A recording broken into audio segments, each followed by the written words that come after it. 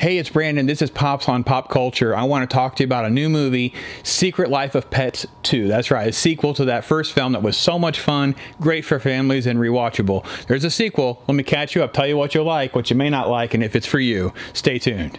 My favorite quality about Pops is that he's incredibly honest. At least you always know where you stand with Pops. So I like that. He'll give it to you straight down, straight down both barrels. Brandon. This is Pops on Pop Culture, where I break down all sorts of different things pop culture related. We're going to tackle another movie conversation right now Secret Life of Pets 2. Maybe this is the first time you've joined me. Hit that like button. Let me know how I'm doing. Maybe subscribe. Hit that little bell. Get notifications each time I put out new videos, which is about once a week or so. And the new film is called Secret Life of Pets 2. I was able to screen it early, and I want to catch you up. So, so if you don't know, the first film was actually a good success for the studio, and they did a good job of humanizing pets and giving you a really fun look at what your pets could be doing at home. And it was really a kind of entertaining film. An interesting dynamic of animals like to be pets or not was kind of the backdrop, as well as the idea of a pet's attachment to their owner with Max and Duke, who were these two dogs that were central to the story. So that's kind of where we pick up. We pick up with this story now. We fast forward a little bit. So we fast forward a little bit, and it's central to these two dogs, Max and Duke. And now Max is now voiced by Patton Oswalt. He's replacing Louis C.K., and we're not going into all that nonsense right now. But Katie, their owner, her life's moving on, right? She meets a guy, they're going to get married. He moves in, they're going to get married, and they're going to have a kid.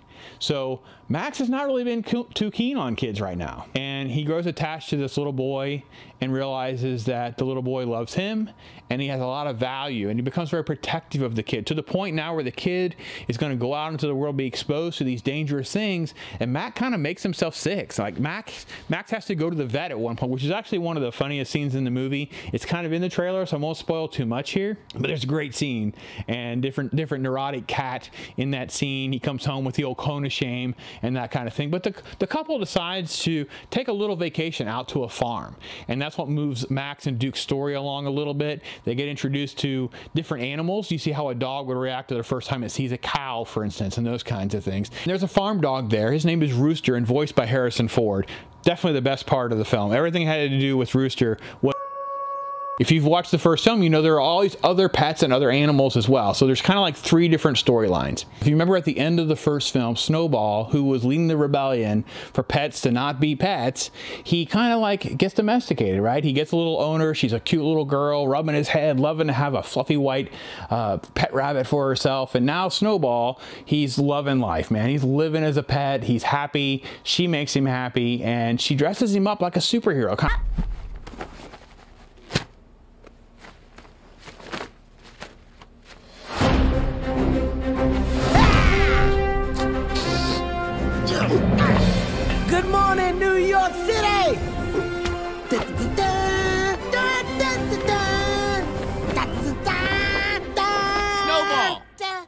What are you doing? What's it look like I'm doing? I'm doing superhero stuff. Tip, tip, tip, tip, tip.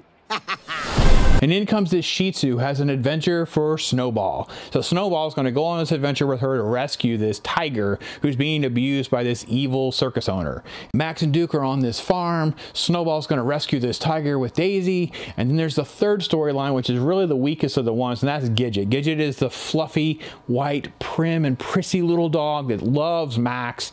And Max, when he goes to the farm, he leaves her the responsibility of his favorite little ball, this little bumblebee ball that he loves so much. It doesn't take her long to mess that up, right? She's she's fantasizing all the time about them being married, and this is like their little kid, and this is all in the trailer, and it's kind of cutesy, and it was fine. The ball, of course, gets away, and now she's on her own adventure to figure out how to get the ball back, and it's with a bunch of crazy cats in a cat lady's apartment with you know tons of cats, so she has to pretend to be a cat. So a lot of funny moments. The film is super cute. The film is for pet owners, man. If you've got an animal and you got a pet that you're close to, you're going to connect to so many moments, whether it be the cats or the dogs, the characters from the previous movie and that kind of thing. So the film is a seven, right? It is a lot of entertainment, a lot of fun. Um, what's weird about the film for me is I think it kind of got really obsessed with appealing to the adults, and I'm not quite sure I understand how many jokes the kids are actually getting. Right? There wasn't a lot of kid belly laughing going on in the auditorium we were there, but there was a lot of giggling. It's a lot of fun. It's a lot of slapsticky jokes for them. But I think it's a little weaker for the kids audience than it is for the adult audience. So it seems to be targeted in that direction. So stay tuned and keep watching if you want to get into some more of the spoilers with me as we break down the film in even more detail. All right, well, you're with me, so let's go a little bit further. So, as I said, there's three storylines. There's a farm storyline with Max and Duke, and they meet Rooster, the farm dog. Then you have Gidget. Gidget's trying to rescue Max's favorite ball, this bumblebee ball, from this apartment of cats. And then, of course, you have th another storyline with Snowball trying to rescue this third storyline with Snowball trying to rescue this tiger. So the film actually does a pretty good job of balancing all three, but they don't really get equal time and they definitely don't have like equal value. Like I don't really care too much about the tiger story. Tiger story was just kind of weird. It becomes sort of an odd animal rights, anti-circus thing where it was every cliche, right? He's just an evil, I think he's supposed to be a Russian circus owner abusing the tiger, treat him very badly. I just have a hard time why the dog suddenly care about this tiger. It was it was it was it was just kind of like falsely motivated, but it does set up some fun stuff for Snowball. Snowball's a really fun character. Uh, he, he Kevin Hart is a perfect voice for Snowball, so you get these highs and lows with his reactions and emotions, which play out perfectly for the character. The other the other storyline that kind of falls through the crack is the Gidget storyline. The Gidget storyline is actually totally ruined in the trailer. So if you saw the Chloe trailer with, with Chloe teaching Gidget how to be a cat, you've pretty much seen the best parts of this storyline, other than the end when we got to figure out how to rally the cats too and the cat lady, right? We have to go on this big rescue at the end of the film. So in between, we don't really care too much about the Gidget storyline either. So it's kind of a shame that the, the main storyline here is about Max.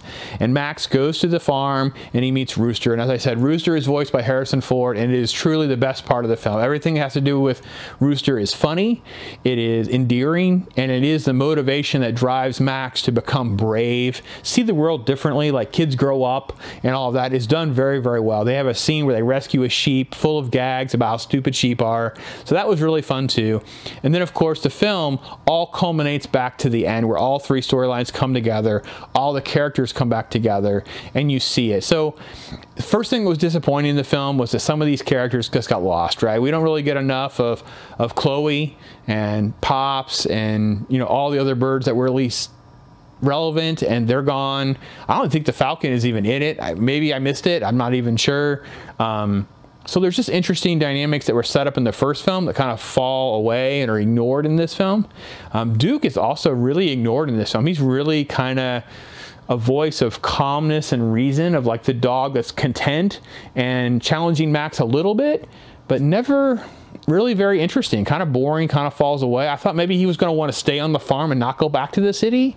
That seemed like the direction they were going, but that's not what they did either. So Rooster was pretty good. I have to admit that was probably the high point uh, for all of that and that storyline. And it does work well at the end when it comes together and you see Max getting brave and you see him accepting that that uh, the little boy is going to go to school and those kinds of things. So it's better. Uh, Gidget and stuff comes together okay with more like the cat lady jokes. Like it's a funnier setup for all these cat jokes and the cat lady and the rescue of the tiger than it is about Gidget. She doesn't really become the heroine that she become in the first one. She, she, she got to play like tough girl dog dog in the first film. In this film, that kind of got lost a little bit with her pretending to be a cat and surrounded by all the cats and all of that. So that was a little disappointing, but it was still a lot of good jokes. Sad that so much stuff's ruined in these trailers, guys. I'm telling you, if you watch a trailer, you're like, I'm, I'm in, just stop watching the rest of the footage because they're just going to ruin something for you. And Secret Life of Pets 2 is definitely falling victim to that. So I give the film a 7 if you got little ones, it's fun, it's clean, it's a great time. There's really one curse word, and it was just silly to even have it in there. I'm so disappointed they keep doing stupid things like this. Make the film PG, maybe even G, but definitely PG for these kids to go to and have a clean, fun time with their family. I got to be honest, if they do that, are you listening? They'll go see it multiple times, right? People want to be entertained and want their kids to have a good time. So the film does that. It is those things. Uh, I think you'll enjoy it. There's a lot of messaging for adults, so you're going to be entertained. It's not an elite film or anything like that, but I think it's going to hold up. You're going to enjoy watching it again. Your kids are going to enjoy it, and you're going to have a good time. So that's my take. Let me hear about yours. Go to the comment section, blow it up, tell me I'm great, tell me I'm crazy, tell me what your favorite part is.